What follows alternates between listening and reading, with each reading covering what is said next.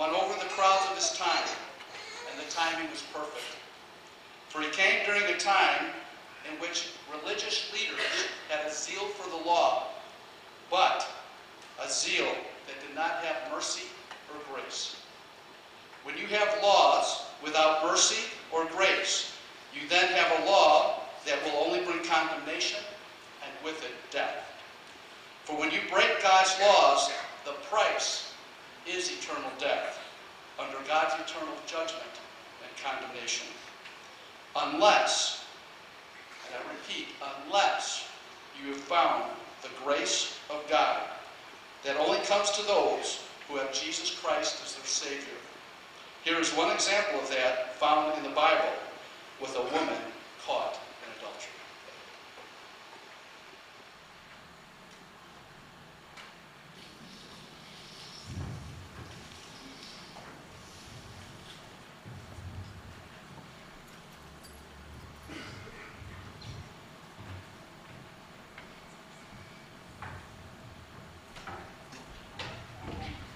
Teacher, this woman has been caught in the act of adultery. According to the law, Moses says we should stone her until she is dead. What do you have to say about this? The real reason why this woman was brought to Jesus was because they were hoping to trap him. If he would say something that would contradict their greatest religious leaders, then it would be their opportunity to get the people to turn against Jesus Christ. The reason that they were upset with Jesus, and not only upset but hated him, was because they were jealous of him. When they brought this woman to Jesus, he did not answer them right away. Instead, he did something that was very strange. He began to write on the ground. Well, what do you have to say about this? Should we stone her or should we not? Is Moses right or wrong?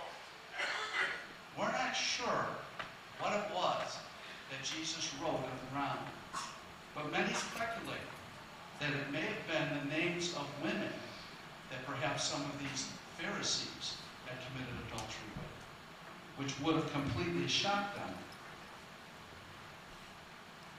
And then Jesus said, He who is without sin among you, let him be the first to throw the stone.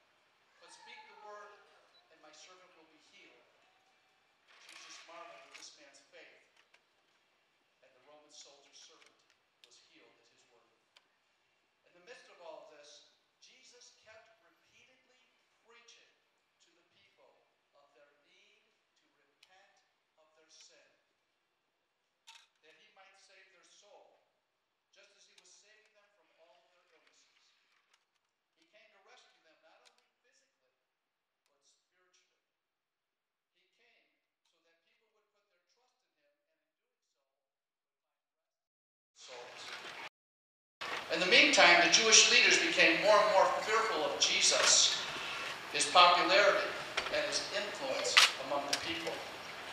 So began, they began to plot how they might kill him. A Jewish holiday was approaching called Passover. Thousands and thousands of people poured into the city of Jerusalem. So initially, they agreed to not kill him during the Passover, lest there be a riot.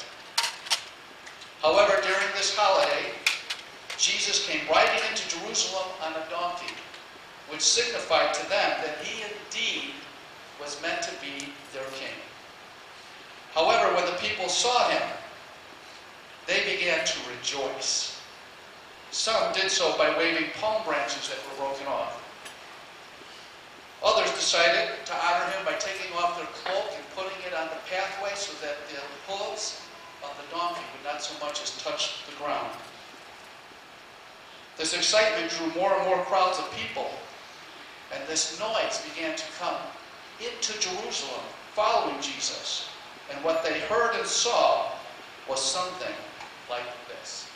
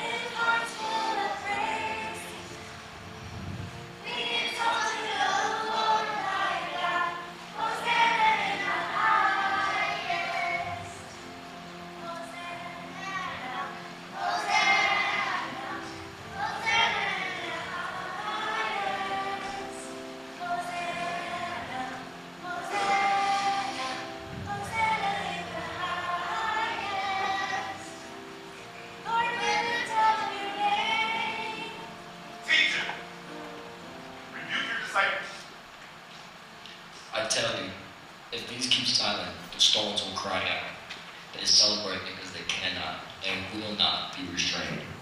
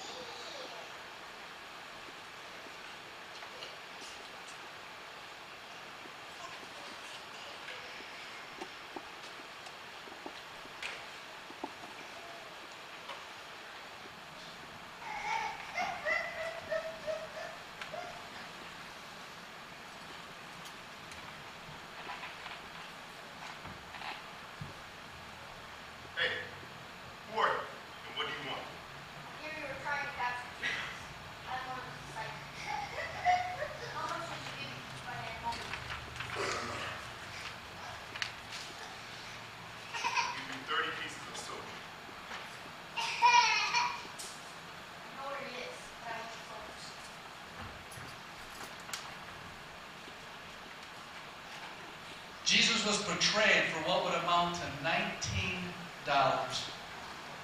Soon afterwards, all the disciples were sitting down at the table, eating the Last Supper.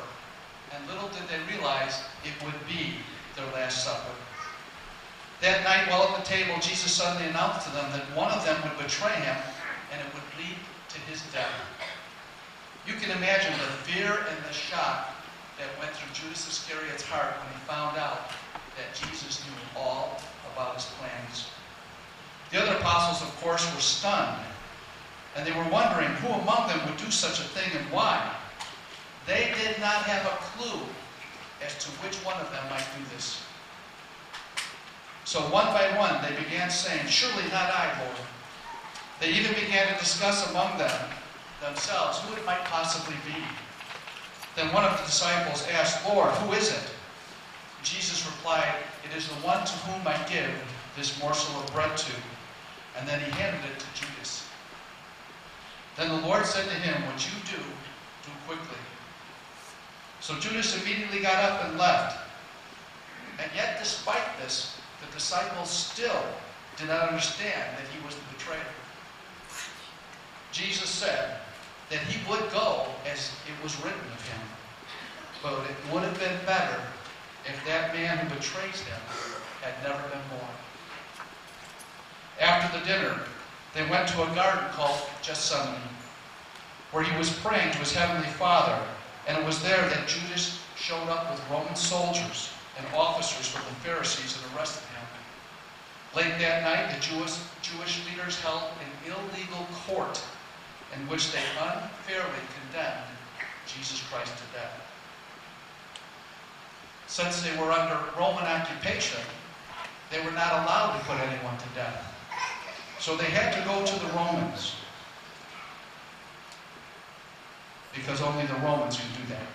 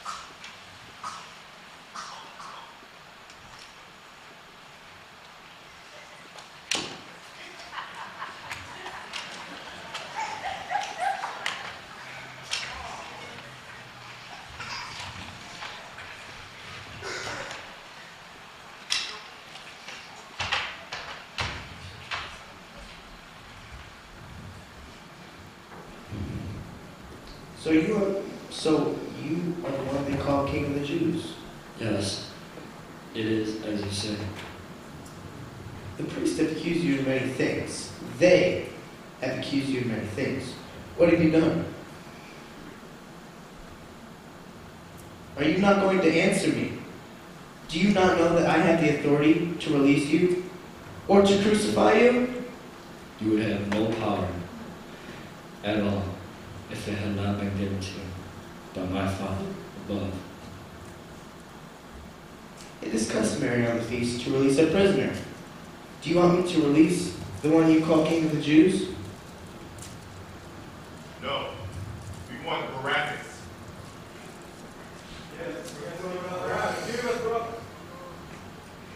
So what should I do with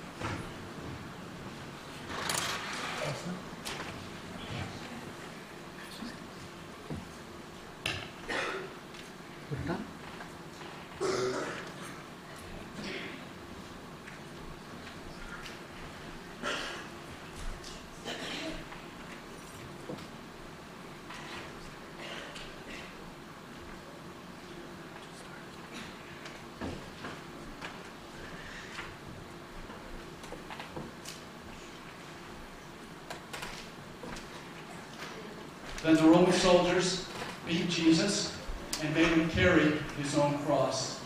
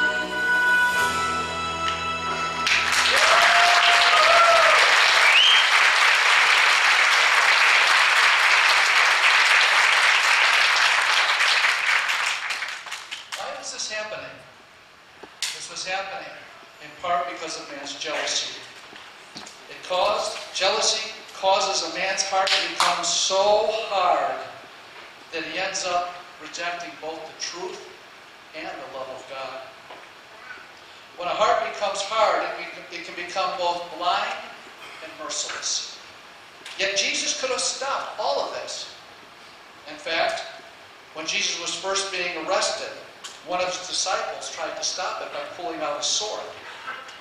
And Jesus said to him, Put your sword back in its place, for all those who take the sword shall die by the sword.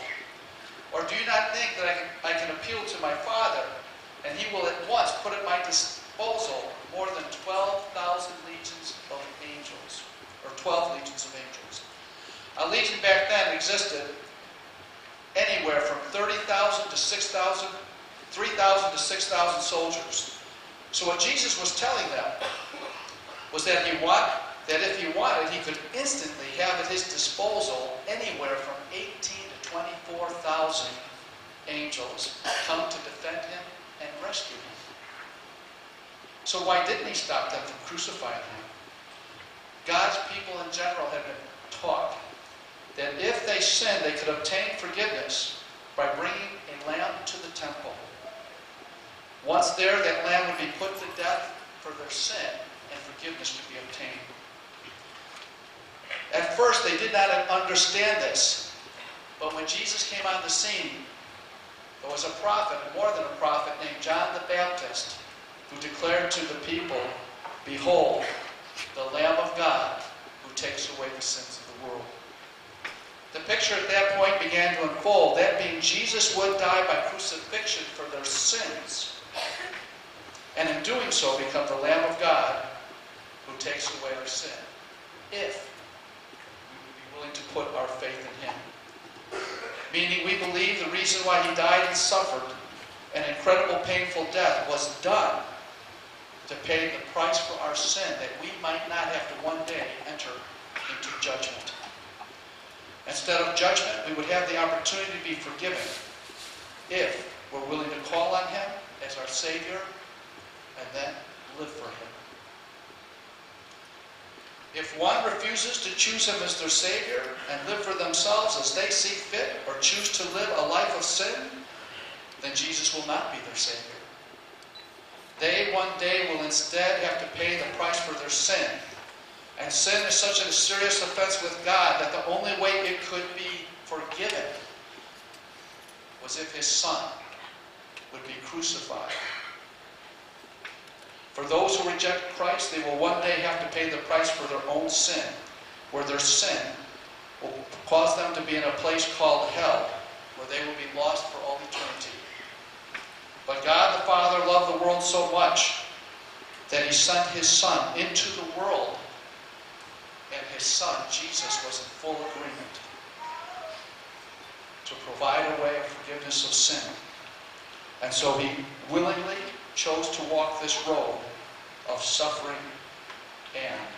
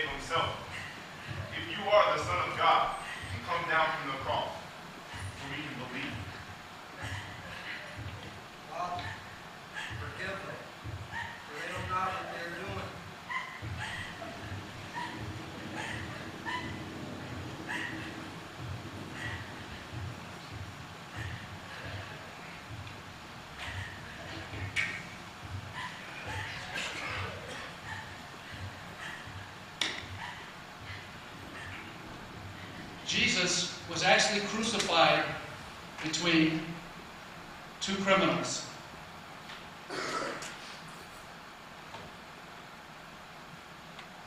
The one criminal began hurling insults at Jesus, saying, If you're the Son of God, save us and save yourself. But the other criminal spoke up and said, Do you not fear God, seeing that you are under the same condemnation? And then he said to Jesus, Remember me when you enter into your kingdom. To which Jesus said, I tell you, on this day, you will be in paradise. Saying nothing, can't save yourself. Let this king, Israel, come down from the cross so we can believe.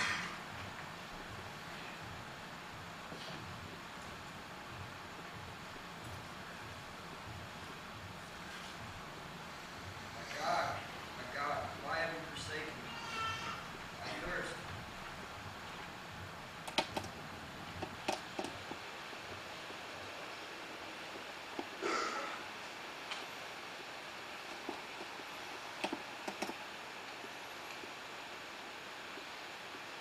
Him.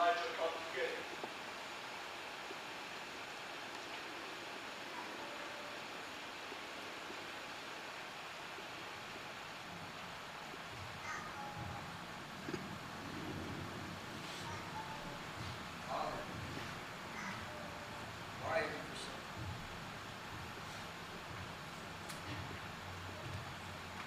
you my spirit. It is finished.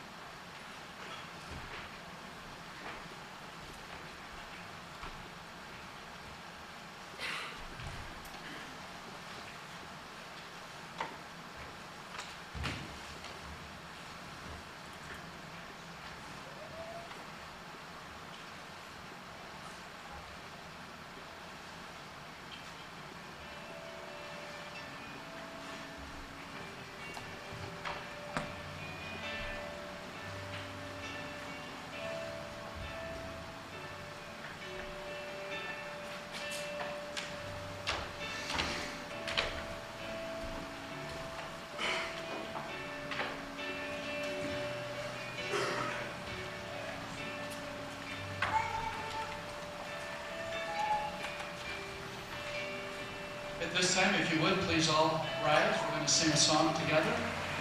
The words will come up on the screen. Above all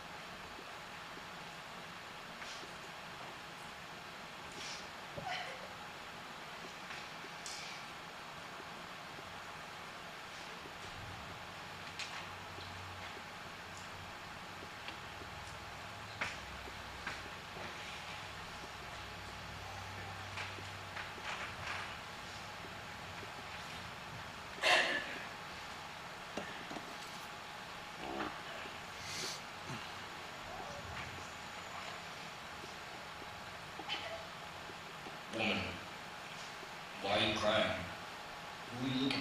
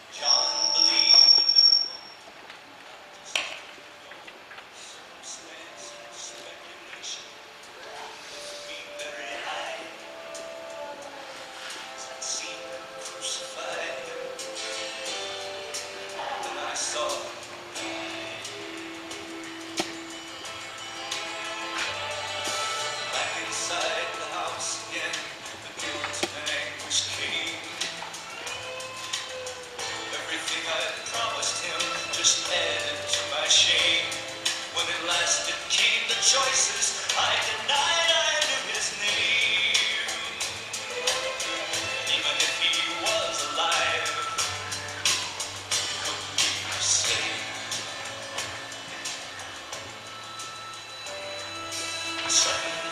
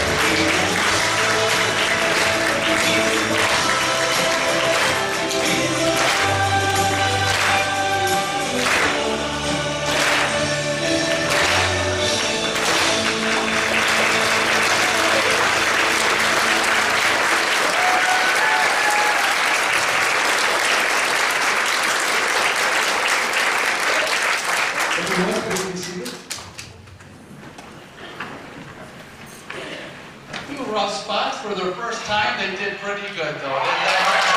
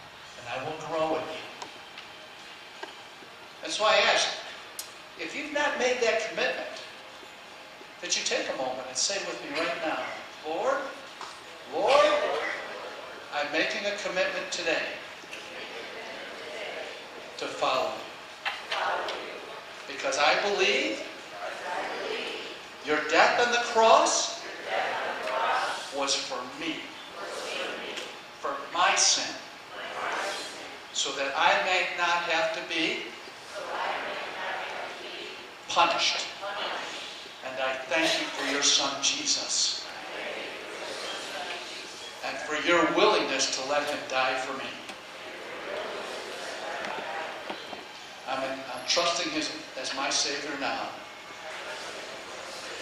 In Jesus' name. Amen. Amen.